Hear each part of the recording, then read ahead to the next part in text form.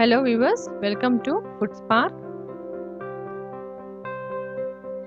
ఈరోజు తమిళనాడు స్టైల్ శనగపప్పు వడలు ఎలా చేయాలో చూద్దాం రండి.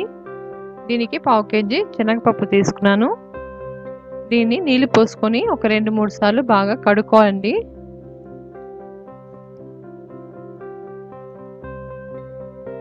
ఇప్పుడు నీళ్ళు పోసుకొని ఒక రెండు గంటలు బాగా నానబెట్టుకోవాలండి. కనీసం రెండు గంటలను పెట్టాలండి.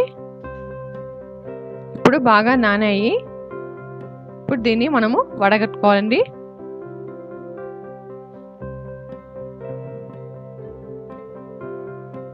ఇప్పుడు దీన్ని మనము మిక్సీ జార్లో వేసుకోవాలి.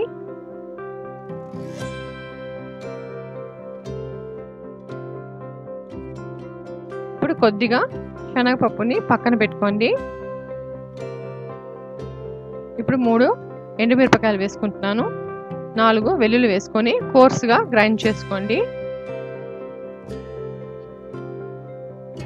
ఇప్పుడు దీన్ని ఒక బౌల్లో షిఫ్ట్ చేసుకుంటున్నాను అండి.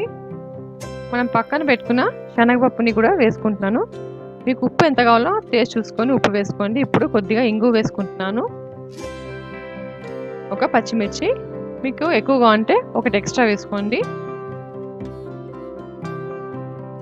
ఉల్లిపాయలు వేసుకుంటాను. చిన్న ఉల్లిపాయలు. టేస్ట్ చాలా బాగుంటుంది. ఎక్కువగా ఉంటే కూడా మీరు ఎక్కువ వేసుకోవచ్చు. నేను కొద్దిగా కొత్తిమీర వేసుకుంటాను మీకు కావాలంటే కరివేపాకు సోంపు కూడా వేసుకోవచ్చు.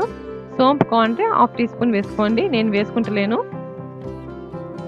ఇలా మెల్లగా కలుపుకోండి. లేకపోతే ఉల్లిపాయల నీళ్ళంతా బయటకు వచ్చేస్తే మీకు ఆయిల్ ఫీల్ చేస్తుంది.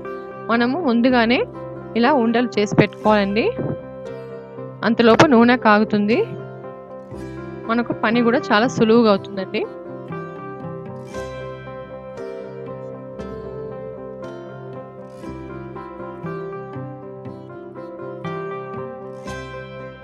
ఇప్పుడు మనము వడల్ని ఒత్తుకుందాము.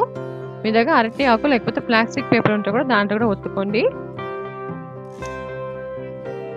కొంచెం ఓపికతోనే చేయాలండి.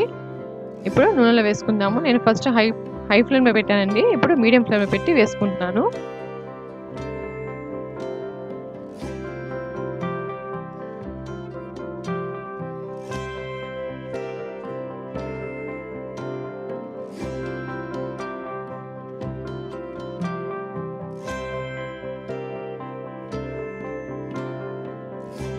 మీ దగ్గర పెద్ద కడాయి ఉంటే దాని తగ్గట్టు వేసుకోండి. నేను బియ్యము బియ్యం పిండి ఏం వేసుకోనండి. అయినా కూడా చాలా క్రిస్పీగా ఉంటుంది. ఇది పులియోదతోటి సాంబార్ రైస్ తోటి చాలా టేస్ట్గా ఉంటుంది.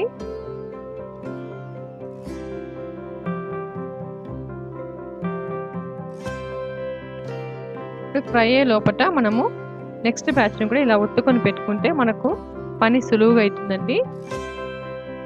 ఇంట్లో ట్రై చేసి చూడండి చాలా టేస్ట్ ఉంటుంది ఇది. అందరికీ నచ్చుతుంది.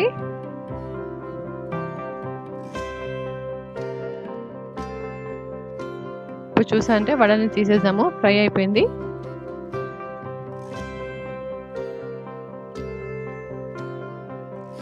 కొంచెం ఓపికతోనే చేయాలండి. ఇప్పుడు మనము నెక్స్ట్ బ్యాచ్ వేసేద్దాము.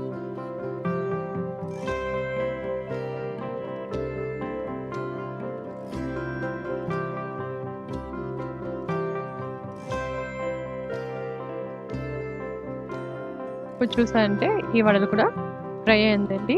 తప్పకుండా ఇంట్లో ట్రై చేయండి సబ్స్క్రైబ్ చేయండి షేర్ చేయండి. మీతో ఇంకొక రెసిపీలో జాయిన్ అవుతాను. Thank you viewers